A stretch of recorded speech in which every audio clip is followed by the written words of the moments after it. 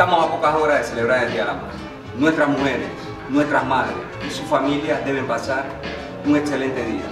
Gracias mujeres panameñas por parir hombres y mujeres dignos en este país. ¡Feliz Día de la Madre!